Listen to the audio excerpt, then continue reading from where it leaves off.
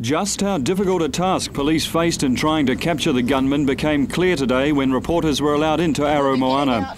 The township is a cluster of small homes dotted among sand hills and scrub. Ideal terrain for a gunman who knew the area well. David Gray began his murderous onslaught near the simple house he lived in. First, neighbour Gary Holden's house was set alight. Gray's motive is not clear, but it's known that he believed he had caught the Tapanui flu from the Holdens and was upset about this. Gary Holden's bullet ridden body was found near his burnt out house. His 11 year old daughter and the daughter of his partner were staying with him at the time.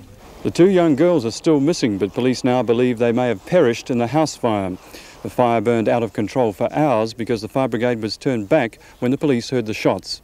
Nine bodies were found close to Holden's house. It's likely the raging fire attracted them into Gray's deadly trap. Detective Sergeant Paul Knox, along with murdered policeman Stu Guthrie, was one of the first on the scene.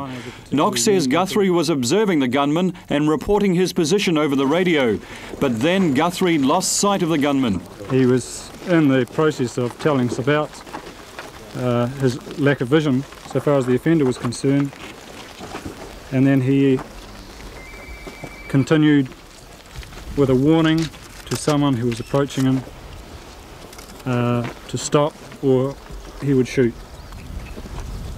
Um, at that stage uh, I left the radio, I knew something was going to happen. I was running to where another colleague was positioned and I heard the volley of shots. Was that person approaching him the offender? Well, it could only have been. What sort of weapon did he have, Guthrie? Uh, Sergeant Guthrie had a 38 pistol. Do you think he was caught by surprise?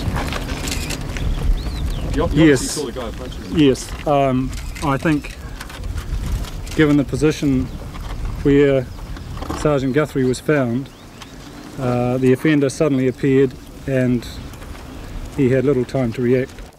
It was nearly a full day later before police cornered the gunman. And this is where the gunman David Gray's rampage finally came to an end. When police checked this property, they noticed a broken window. When they investigated further, the gunman fired a volley of shots at them. They um, uh, immediately returned fire and um, took cover. They um, began to, the, the cover that there was immediately available was a, a shed that was in the front of the building. And from the other side of the shed, they um, threw uh, tear smoke and then um, again approached. And as they did so, there was a further volley of shots, and um, the offender emerged from the uh, building um, shooting. And they had no option. They were confronted by him, had no option but to defend themselves. Did he say anything? Um, there was some shouting. Um, I'm not aware of exactly what was said. Police have now confirmed that David Gray came out of the house yelling, Come on, you bastards, kill me. In the shootout that took place, at least 50 shots were fired. A few minutes later, David Gray was dead. Mark Jennings, 3 National News.